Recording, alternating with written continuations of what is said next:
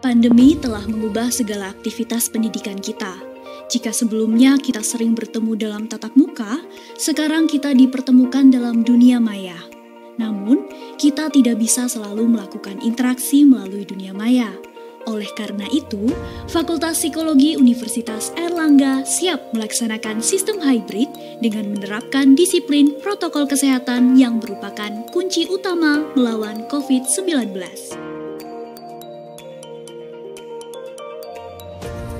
Fakultas Psikologi Universitas Erlangga menggunakan pola 5M.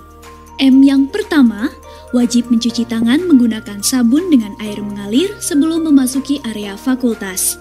Fasilitas untuk mencuci tangan telah disediakan di semua pintu masuk fakultas. Setelah itu, wajib mengecek suhu di tempat yang telah disediakan.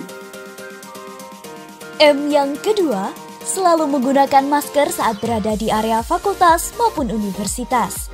Masker harus digunakan di mana pun ketika Anda berada, dan masker wajib memenuhi standar protokol kesehatan yang berlaku agar lebih efektif dalam mencegah penularan virus. Lalu, M ketiga adalah menjaga jarak minimal 1 meter untuk menghindari droplet dari orang lain. Fasilitas yang ada di fakultas telah mengatur hal tersebut. Pengaturan kursi yang diberi tanda silang atau memberikan jarak antar kursi dalam kelas. M keempat, menjauhi kerumunan agar bisa meminimalisasi kemungkinan terinfeksi virus corona. Pengaturan jalur selama berada di area fakultas telah disusun sedemikian rupa agar tidak terjadi kerumunan. Dan M yang terakhir, yaitu mengurangi mobilitas di area kampus. Dengan diterapkannya sistem hybrid, maka kegiatan belajar mengajar akan dilaksanakan dengan perpaduan daring dan luring.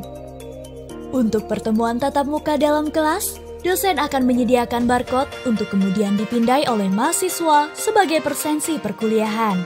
Barcode yang disediakan hanya memiliki waktu selama 2 menit dan setiap pertemuan maupun mata kuliah memiliki barcode yang berbeda. Barcode hanya akan berlaku dalam area fakultas dan hanya bisa dipindai dalam area tersebut. Menjaga protokol kesehatan bukan hanya untuk orang lain, namun untuk diri sendiri juga. Dengan menjaga protokol kesehatan, maka kita bisa mencegah penularan dan penyebaran virus corona agar kita bisa belajar dengan nyaman. Yuk, kita jaga protokol kesehatan agar kita bisa bertemu lagi.